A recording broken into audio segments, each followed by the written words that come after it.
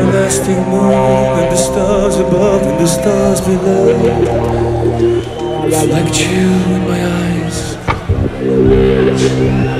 eyes